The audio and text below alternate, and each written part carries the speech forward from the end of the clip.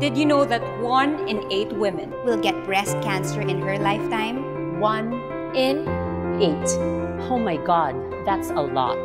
But you can help change that statistic.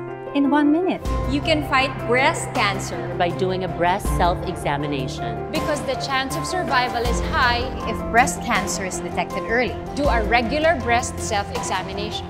It's free. It's easy. It's quick. And it's powerful. It can save your life. You can do it first thing in the morning. Lying down or in front of a mirror before getting dressed. Just press firmly with your fingers and feel for any lumps. Early detection saved my life. I'm glad I took a minute to regularly check my breast. My mom is still with us because she caught it early. Imagine how many more moms, daughters, wives, sisters, friends would still be here if only they took a minute to think about it. It only takes a minute to think, to think, to think, to think about it. Remember that the breast self-exam is the closest that you can get to a cure.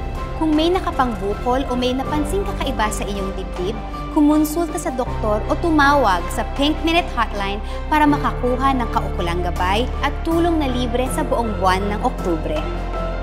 Make time for a Pink Minute.